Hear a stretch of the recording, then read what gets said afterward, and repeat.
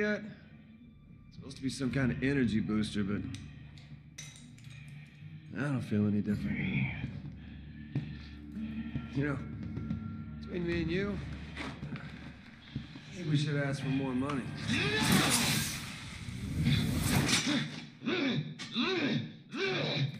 A lot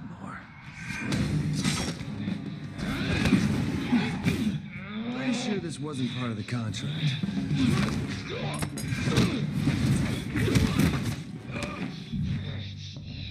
But I am willing to renegotiate.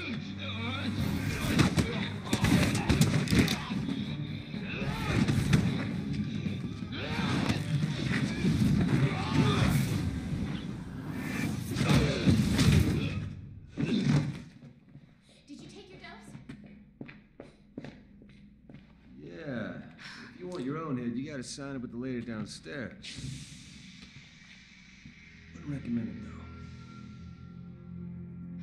No question. You've got the antibodies. Thank you very much. Wait, what? You could be the key to saving this world, Jake Mueller. Save myself first.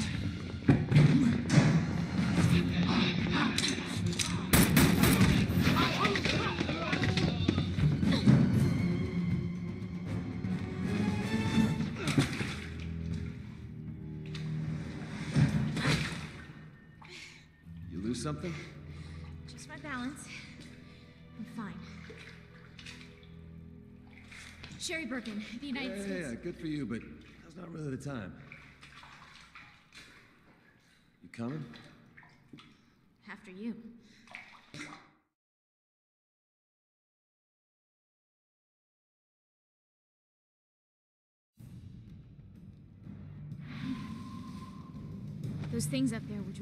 こんにちは、ブルーホースです。本日も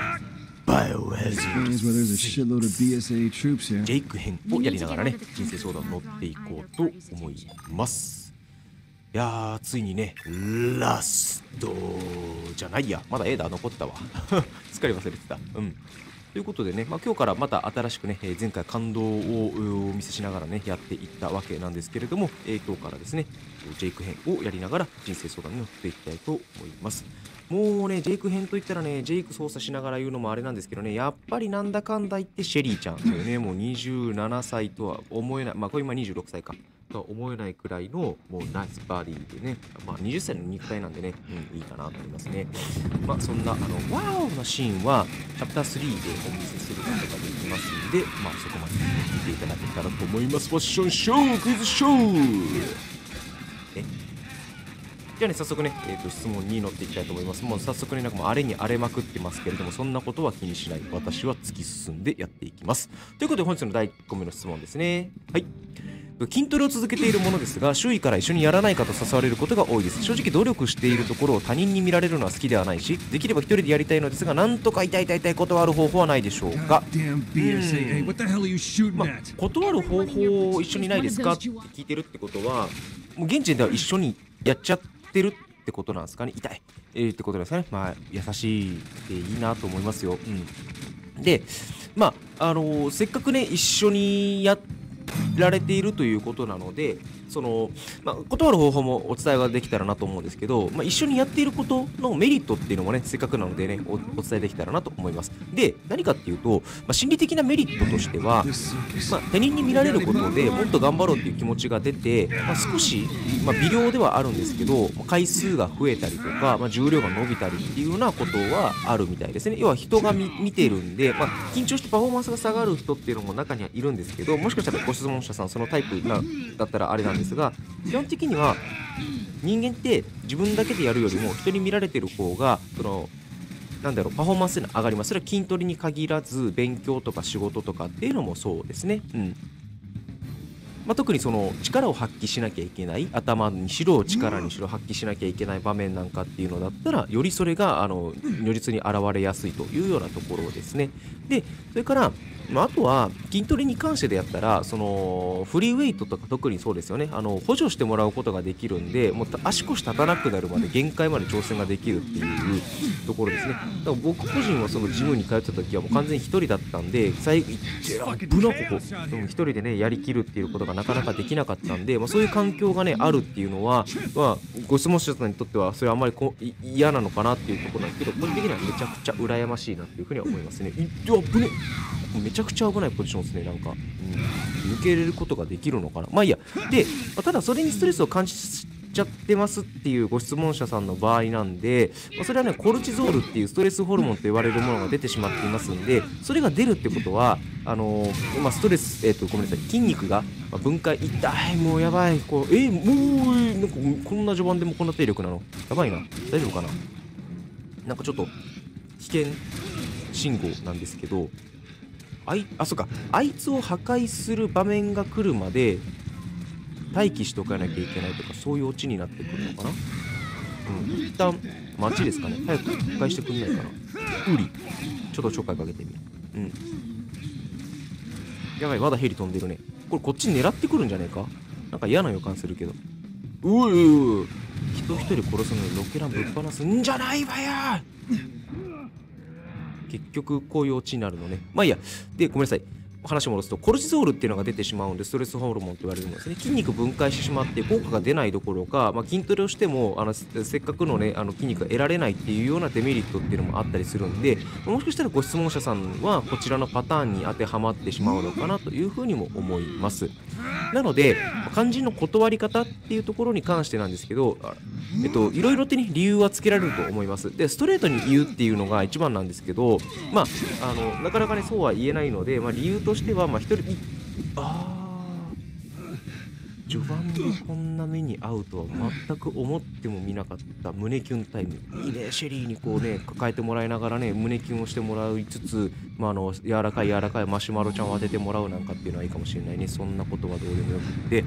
そう。で1人でトレーニングを効率する方がいいとか好きとかっていうのを言ってみるっていうことですね。であとはあのーまあ、これがね、言えないから、それでね、一人でトレーニングする方が好きなんだとかね、効率がいいんだとか、好きだとかっていうの言えないんで、そういうの困ってるっていう話だと思いますんで、一人でトレーニングをする効率がいい方あ、一人でトレーニングをする方が効率がいいっていう理由付けっていうのを、あの、お伝えするといいと。で、何かっていうと、例えばトレーニングする時間を自分で決めてるんだとか、こういうメニューをやるっていうのをもう決めているんだとか、で、ペースを満たされた、あの乱されたくないっていう風に、あくまで一人で行う理由とか効率っていうのが、こういうのであるんで人とトレーニングするっていうのは基本的にお断りをしています。みたいな風な伝え方ができると、うん、あのあなるほどなと邪魔しちゃいけないなっていう風に基本的に優しい人だったら思ってくれると思います。ところがまあ一方でそうじゃないパターンの人とかっていうのもいらっしゃるんで、まあ、その場合に関してはあのもうなんだろうね、無視を決め込む。っていう風にされた方がいいのではないかなという風に思います。うん。まあ、特にね、あのなんか有名なあの YouTuber さんで筋トレに関する YouTuber さんなんかでね、あの S, S, S なんとか人っていう人がいるじゃないですか。あの人、ゴートレめちゃくちゃ好きで、足トレでいろんな人を殺しているっていうのはありますけど、ああいうむちゃくちゃな人も中にはいらっしゃるので、まあ、あのそういう人が周りにいなければ、今言ったような効率を求めてとかで逃げることできると思うんですけど、そうじゃない場合は、あの覚悟を決めた方がいいかなというふうに思います。はい。じゃあ、ムービー終わったら次の質問いこうと思います。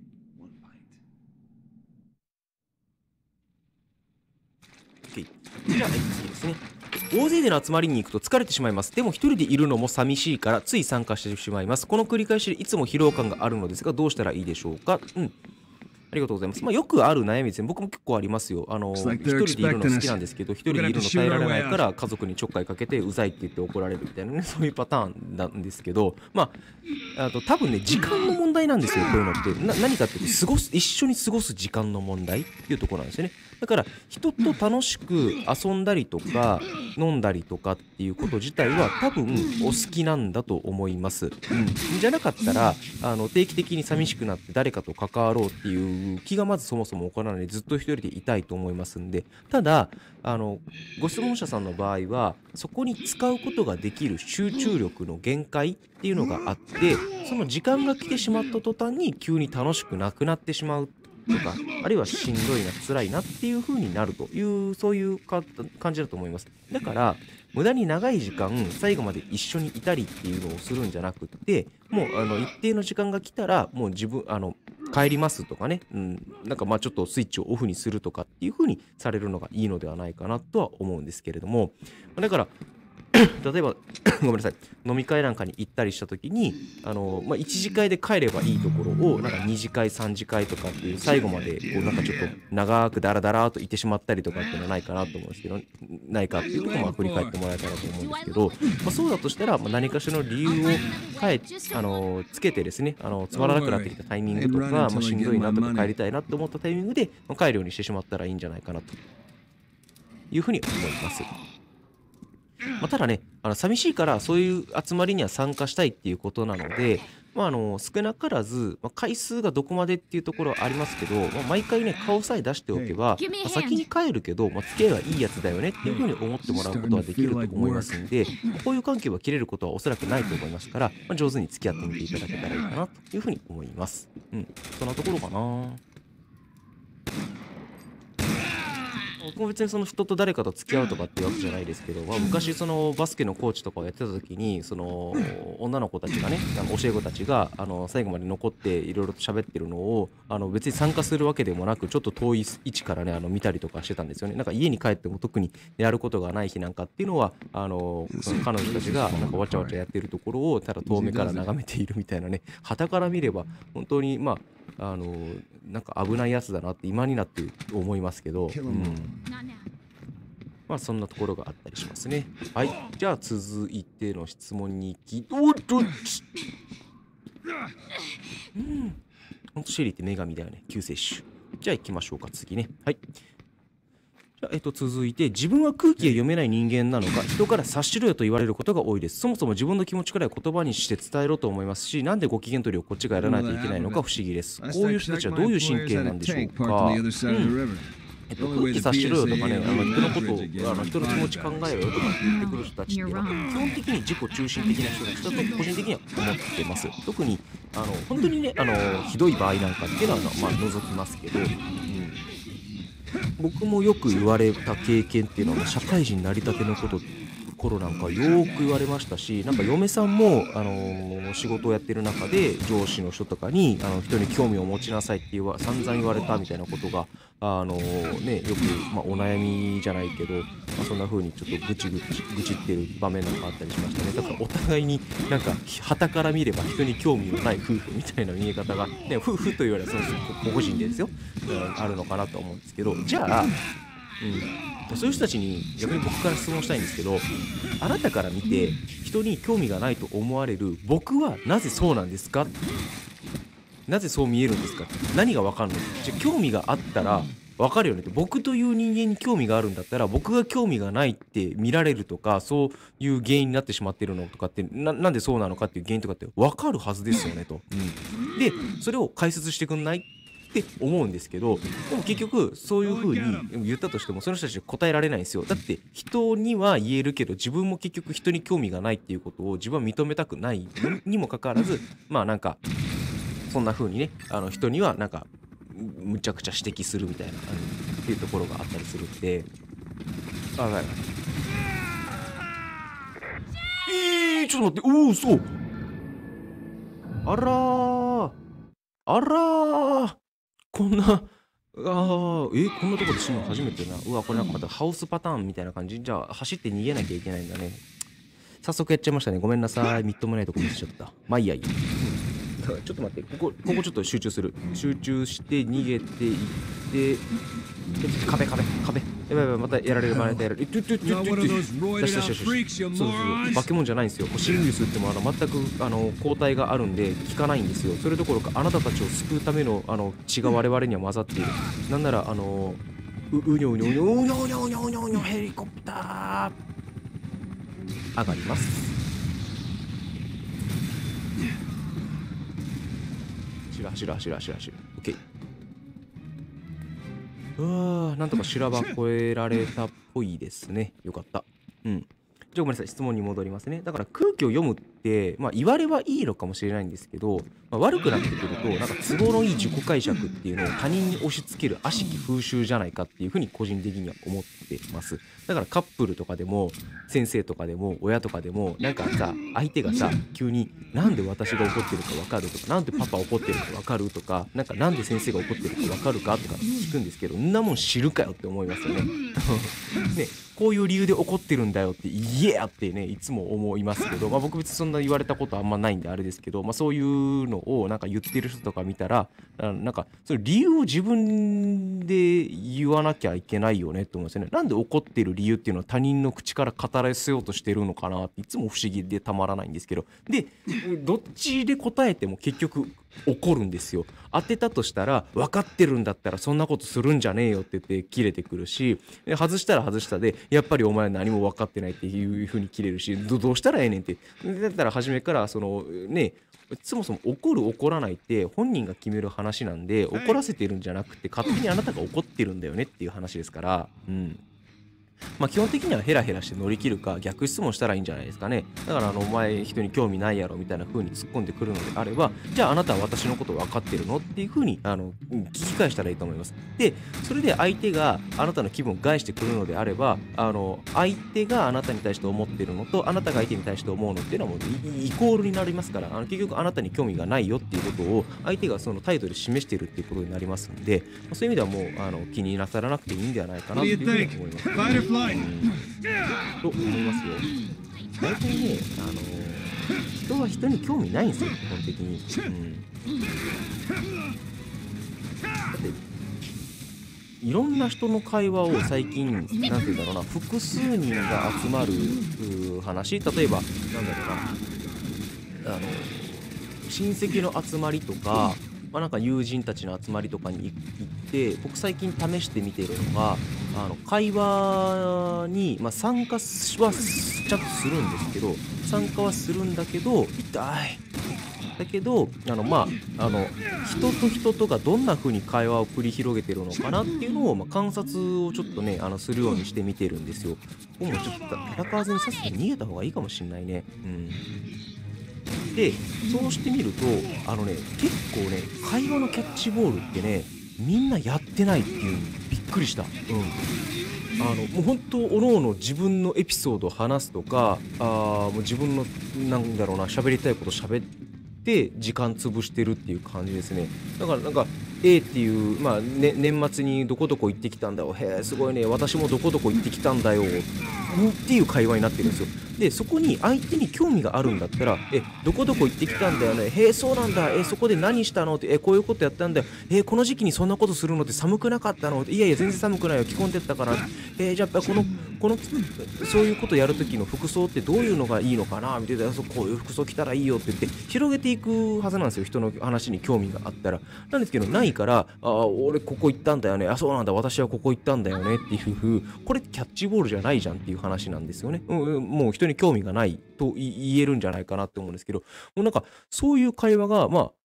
あある種普通になってるなっていう感じでしたね。うん。だからこういう事情を持って果たしてもうこういうなんて言うんだろうな日常のコミュニケーションが横行している中で人に興味持ちなさいって言ってる人なんかは自分に都合がいいようにあの